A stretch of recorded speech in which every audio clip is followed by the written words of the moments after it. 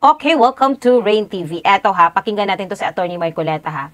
Eto yung sinabi niya tungkol doon kay Mayor Alice Guo na inimbestigahan dyan sa Senado no ni ni Chairperson Committee ng Chocho Bachocho dyan na si Risa Hontiveros no. Kung meron kayong ebidensya based doon sa ano ha sa gipresent ninyo na ebidensya dyan no, kailangan dalihin nyo ito sa fiscal. Yun ang sabi ni Attorney Marcoleta, no? Dahil ang ano lang naman, ang may karapatan na para mag-usig, no, sa tao talaga kung meron siyang kasalanan ay ang fiscal, no? Hindi siya dapat imbestigahan sa Senado. So, well, let's watch this video. Isipin mo naman, Jen. Opo. Nelson, napansin, napansin din nila eh.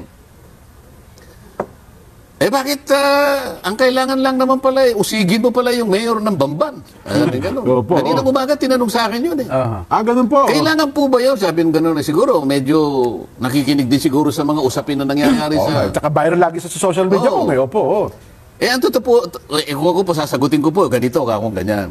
Kung halimbawa po, yung mayor ng Bamban may kasalanan talaga, as established by initial evidence, di ba? Opo, opo.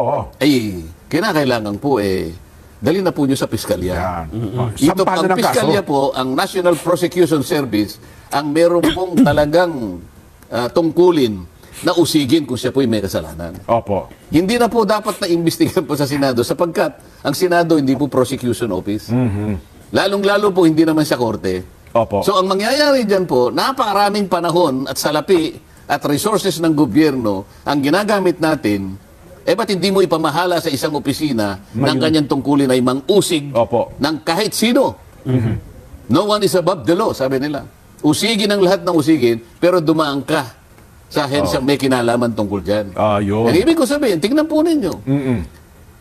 Eh, kung ano-ano na lang po yung, hindi ko po sinasabi na wala kayong karapatan na magtanong o maggumawa ng isang legislative inquiry. Ngunit, yung, yung pong paraan at saka yung, ah, yung nature po ng pagtatanong, wala na pong kinalaman doon sa resolusyon na inihain mismo nila. Ayun, opo. oo. Yun, oh, so ganyan kong pinapaliwanag din. Oho. Nako, eh pero sabi nila kasi kung may mukhang, may, ah, well, lumalabas din naman sa social media, naso, di ba, nakita natin, Eto ha, kung may sapat pala silang ebidensya, no? 'Di ba? Laban dito kay Mayor Alice Guo, no? Ang next step, itong sabi ni, ano, ni Attorney Marcoleta, ang next step is to bring the case to the prosecutor. Kasi ang prosecutor naman, yung may rights, no, and duty, no, to conduct a preliminary investigation para malaman, no, if there is a probable cause para mag-file ng kaso sa korte, 'di ba? Kung halimbawa naghain na sila ng ano ng reklamo, no, ang mga ebidensya no or testimony ng mga isinumiti nila sa opisina ng fiscal So, mag may um, meron na silang meron nang gagawing preliminary investigation. So, susuriin yan ng ano ng fiscal no ang mga ebidensya no at papakinggan ang both side nila sa kabilang kampo at dito naman sa kabilang kampo, 'di ba? So, pag meron ng solusyon ha ang fiscal no, kung may nakita ang fiscal no na may probable cause, maghahain sila ng kaso sa korte. Pero kung walang sapat na ebidensya, ibabasura din 'yan. Ibabasura din ang reklamo. 'Di ba? Ito lang din ha kay Senador Risa Hontiveros. Kung talagang may malasakit ka sa mga kababaihan, no? 'Di ba? Ikaw naman yung chairperson, 'di ba, ng Senate Committee on Women and Children, 'di ba? family relation, and gender equality. Kung talagang may malasakit ka sa mga kababaihan, imbestigahan mo rin yung mga biktima no ng mga ni-rape, 'di ba? Ng mga kadre dinala sa bukid, no? Hindi naman sila nagre-red tag kasi maraming mga biktima no ng mga NPA na 'yan na nagbalik loob sa gobyerno.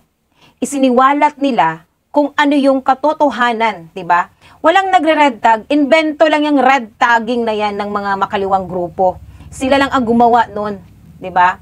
Kung talagang may malasakit ka, imbestigahan mo sila, 'di ba? Imbestigahan mo yung mga ni-rape ng mga kuan dyan, mga gagong mga kuan, 'di ba? Hindi naman yan invento. So gawin mo yung ano mo, yung part mo rin, 'di ba? Bilang isang chairperson, mag-imbestiga ka, 'di ba? Mahal mo mga kababaihan, 'di ba? Mga kabataan. 'Di ba?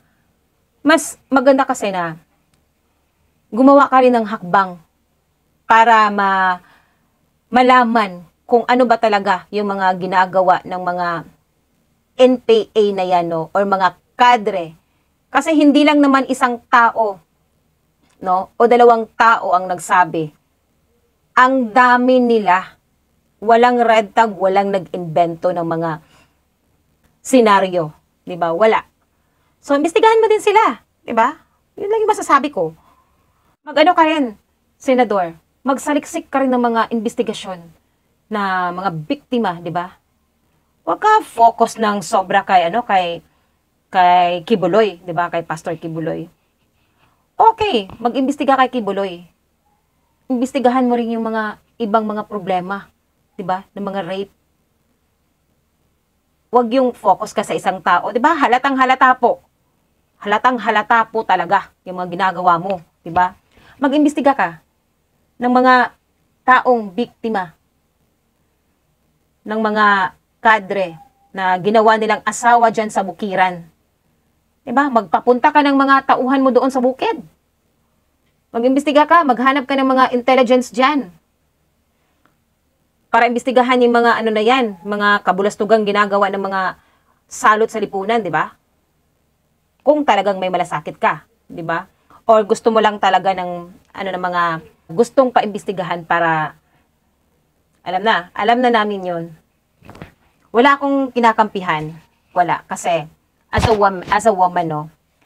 Alam ko rin kung nasay masay ko na ako ba kung talagang may malasakit ka talaga sa kababaihan. No. Hay nako.